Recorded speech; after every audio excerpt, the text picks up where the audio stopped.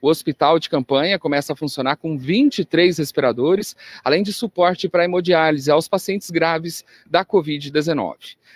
Para dar início a essa cerimônia, a esse culto ecumênico, eu convido a secretária de Saúde, Ivonete Félix, que também é presidente do Comitê de Enfrentamento à Covid-19, para falar sobre a importância desse hospital e como que ele vai funcionar. Ivonete, bom dia. Bom dia a todos.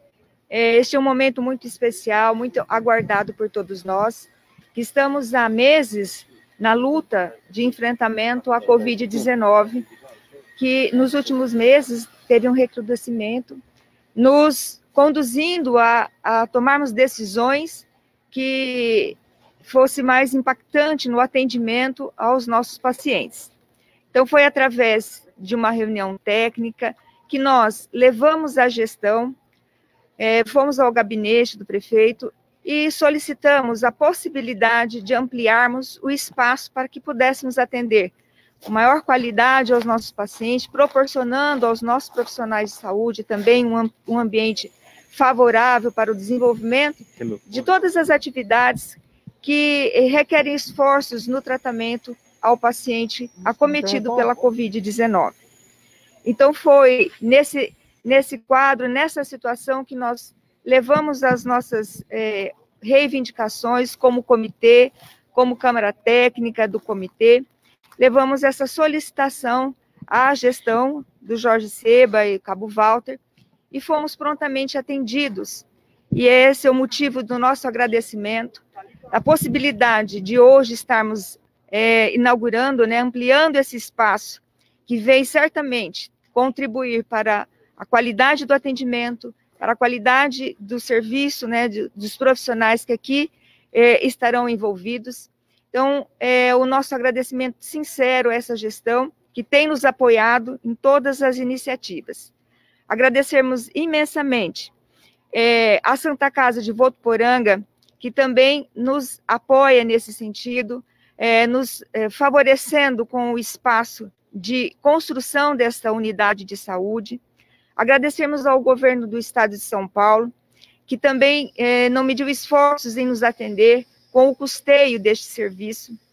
Agradecemos à sociedade civil que é, comprou, né, se solidarizou com a proposta e uniu esforços para que pudesse ser viável em um tempo tão curto, tão, num, num espaço tão curto de tempo, a gente conseguisse constituir essa, essa unidade para que é, aqui tenhamos qualidade, que aqui tenhamos condições de atender aos nossos pacientes.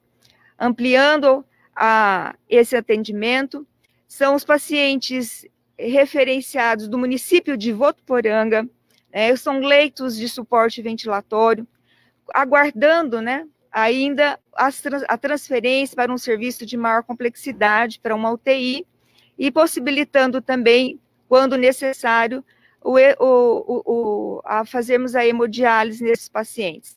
Então, toda essa estrutura, todo esse envolvimento foi pensado sempre na melhor, no melhor atendimento possível aos nossos pacientes.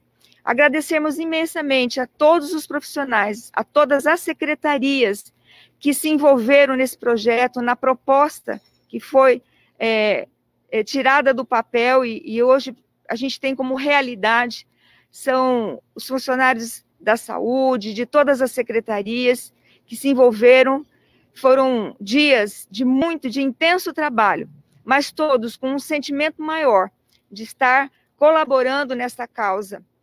E também agradecermos aos trabalhadores da saúde, aos funcionários que vão atuar nesse espaço, que além de dedicar sua, o seu conhecimento, a sua habilidade técnica, também dedica né, aos nossos pacientes o conforto, o carinho, o desejo de melhora.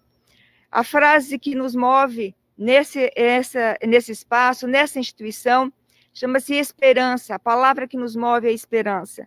É, agradecendo a todos os trabalhadores, agradecendo a todos os envolvidos, aos, as, todas as secretarias, a Santa Casa, ao prefeito Jorge Seba, Cabo Walter, seu vice-prefeito, e a Secretaria de Estado, para que pudéssemos, nesse dia, iniciarmos um trabalho é, de ampliarmos esse atendimento.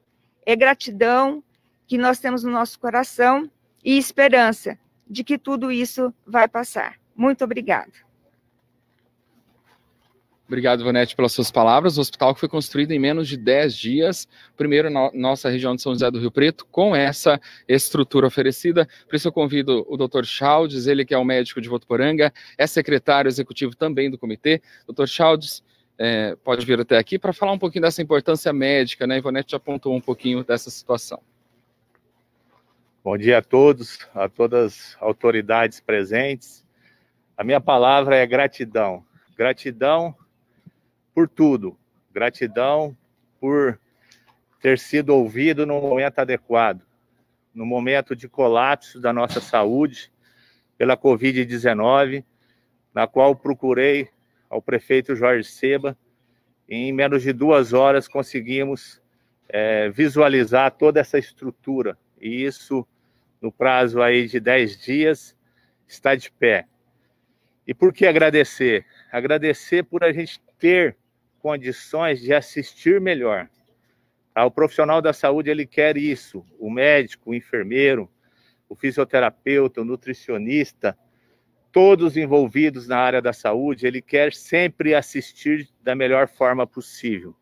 E foi isso que nós conseguimos com a união da prefeitura, Santa Casa, Estado, iniciativa privada, criar essa estrutura na qual teremos 23 leitos de assistência respiratória, na qual conseguiremos, com certeza, dar uma assistência melhor e aguardar o leito de UTI de uma forma melhor.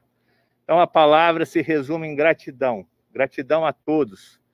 Gratidão a Deus, no momento tão difícil que nós, profissionais da saúde, como população, estamos vivendo isso vai amenizar com certeza, com certeza, muito sofrimento. Então, meu muito obrigado a todos e podem ter certeza que continuaremos fazendo o nosso melhor, que é assistir esses pacientes tão necessitados. Muito obrigado.